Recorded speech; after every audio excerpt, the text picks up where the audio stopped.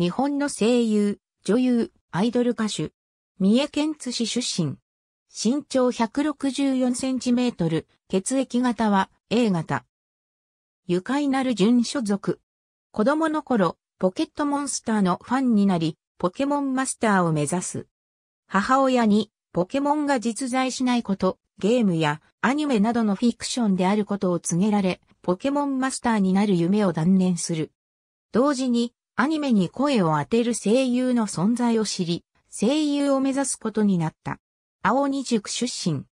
声優事務所の無に約6年間所属していたが、2020年5月1日に対象を発表した。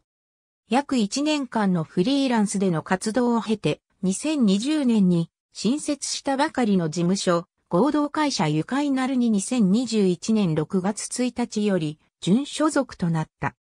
趣味は釣り、競馬特技は、数と牧場、ホルン、好きなものは、宇宙、深海、具足虫、チョコレート、焼酎、ホッピー、アイス、スイカ。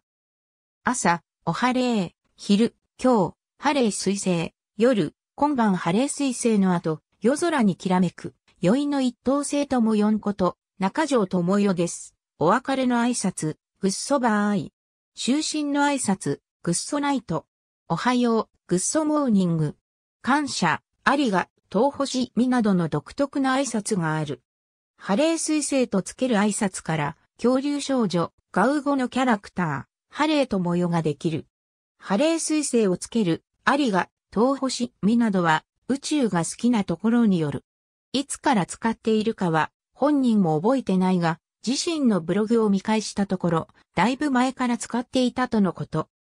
夜空にきらめく、宵の一等星ともよんこと、中条智世ですは、専門学校時代に自己 PR でなんかかっこいいのないかな？って、星座図鑑見てて、本に載ってた言葉を組み合わせたもの、グッソバーイ、グッソナイト、グッソモーニング。